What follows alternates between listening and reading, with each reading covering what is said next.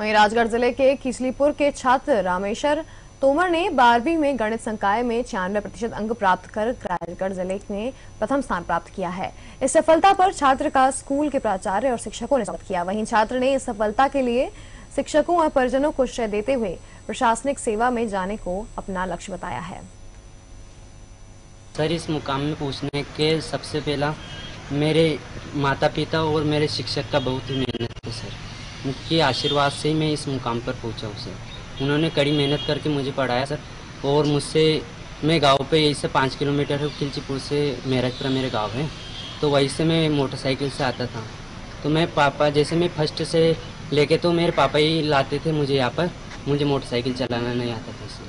और फिर एट्थ से मैं सीख गया था तो इसलिए मैं आता था यहाँ पर। और उनका ही आशीर्वाद से मैं इस मुकाम पर पहुँचा हूँ कोई टाइम तो नहीं देखा अभी तो लेकिन मैं जैसे यहाँ से स्कूल से जाता था तो फिर यहाँ से पाँच बजे से लेके जो रात की ग्यारह बारह बजे बज जाती थी कभी तो वो कभी दो भी बज जाती थी बरेच में